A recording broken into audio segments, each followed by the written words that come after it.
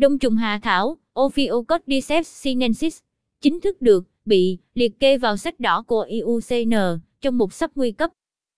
Ở châu Á, trong đó có Việt Nam, đông trùng hạ thảo được sử dụng như loại dược liệu tăng cường sinh lực. Đây được coi như loại fungus, nấm, đắt nhất thế giới.